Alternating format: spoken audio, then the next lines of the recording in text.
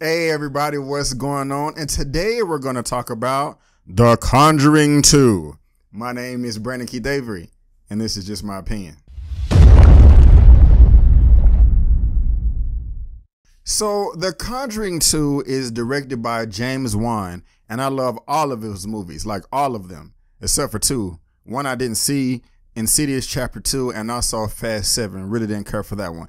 But as far as the rest of his films, Saw that knocked me on my ass when I was in the theater. I love that. I love Dead Silence. I thought that was a beautiful horror flick with all those scary puppets and whatnot. I also like Dead, uh, no, not Dead Silence, Death Sentence with Kevin Bacon. That was really good too. Insidious scared me. And like I said, I did not see Insidious 2. Uh, I didn't care for Fast 7. And The Conjuring, that scared me a lot too. So my expectations were pretty high going into The Conjuring 2 because I really did like The Conjuring Dead Silence, and also Insidious. Now, I remember I did not see The Conjuring, the first one, in the theaters. I think I was a scary cat. And just about me and horror films, I'm not the biggest horror junkie. I am a scary cat. And also, horror films, for the most part, just suck. They're just really not good films. They're cheap.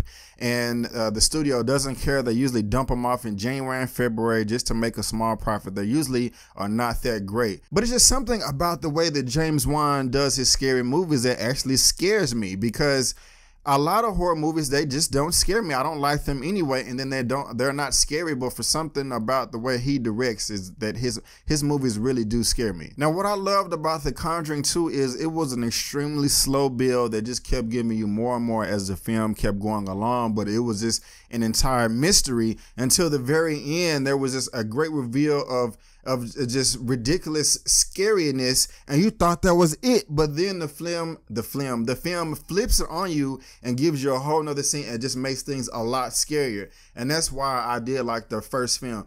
And conjuring 2 i enjoyed that one a lot more as well. What i really do like is is how the film just starts off giving you the intro and it's telling you two stories at once and you don't even realize that until you get to the midpoint of the film.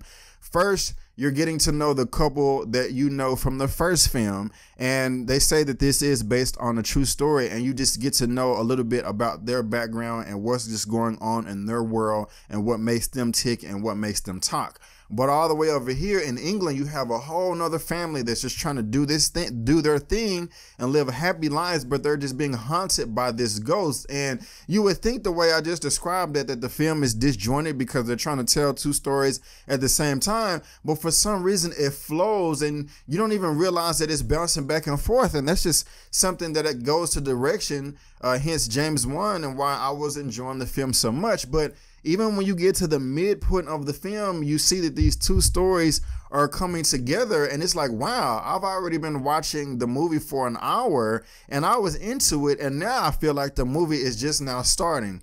And when it starts, it starts out very well. It really does. I was enjoying it with the ghost, but while I did enjoy The Conjuring 2, my overall gripe about the whole film is it just did not have the powerful punch, the powerful impact that the last film had because once these two stories in the Conjuring 2 come together and you have the the the ghost chasers or whatever you want to call them Patrick Wilson and uh, his lovely wife Lorraine that's not her real name in real life that's her character name.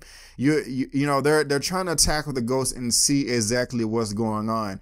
And what I'm trying what I'm trying to say is at one point in the story you realize that the film is not going to get any scarier than it just was the previous scene and I just kind of feel like they blew their load a little too early with the big reveal of what the ghost is, where they come from, why they're there in the first place, and what all this paranormal activity means.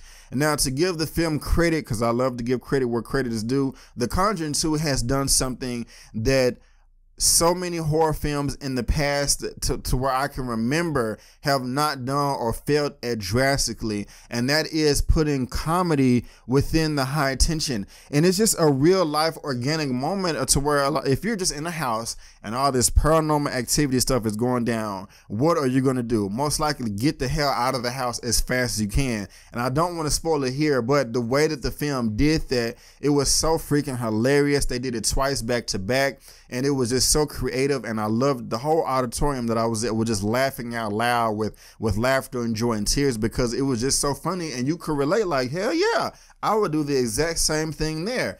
And uh, what I also like about it is the film is filled with a bunch of children that are in the forefront of this paranormal activity. And a lot of these films is they can go tell their mom, their dad, their guardian, or whatever, hey, mom, there's monsters under my bed, or there's a monster in my tent over here. And the adults are going to be like, oh, Timmy, you're having nightmares. What are you doing? Go to bed. And that can linger on for 45 minutes. But no, the film did not do that. Well, they did, but in a small way, but it, it, it made sense. And it it was just cohesive and it just flowed to where it, it didn't waste time. That it was like okay we, we got ghosts. What are we going to do about it? I mean what do we know as fact? And let's just take that and run with it. And i really like how they did that with the characters and it just made me get on board with them even more than i already was I mean, and these are kids. Usually, kids in movies like this can become very annoying. But no, the kids are not annoying at all. There was a point in time to where they just want to push back their shoulders and be like, "Hey, Ghost, no, I, I am not gonna let you bully me."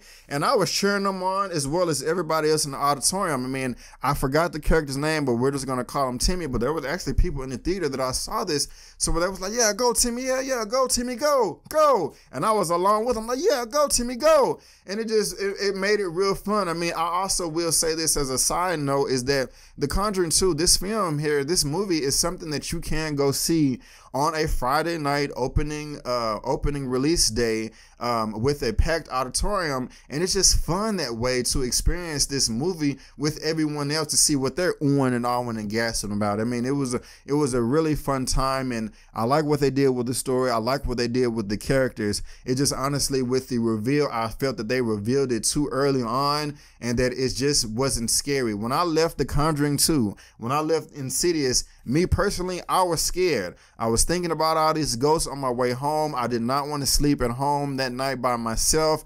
I was probably calling someone like, hey, what you doing? What you come over and spend the night with me or something, blah, blah, blah. But I did not have that same effect with The Conjuring 2. Is it a bad movie? Absolutely not. Is it a good movie? Absolutely yes. And I think that you should go see it. It's just, it wasn't scary. It was an entertaining film for me. It just wasn't scary.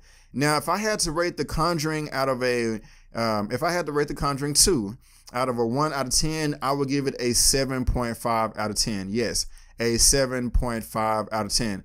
But guys, that's just my opinion. Have you seen The Conjuring 2? Do you want to see it? Have I turned you on? Have I turned you off? Do you agree with me or do you disagree with me? Let me know in the comment section below. Let's get this conversation going and keep it flowing. If you like this video, go ahead and give me the thumbs up. And if you didn't like the video, that's fine. Just leave me a comment below why and still give me a thumbs up. Since you watch this on YouTube, go ahead and subscribe to the YouTube channel so you become one of my subscribers and get all the content that I have to provide in the past and in the future. Also, you can find me at other social media platforms, Facebook, Instagram, Twitter, and all that good stuff. And guys, share the video. I promise you, I pinky promise you, I am not gonna get mad if you share the video. I promise I will keep it between you and me. But anyway, guys, thanks again for tuning in for my opinion slash review of The Conjuring 2.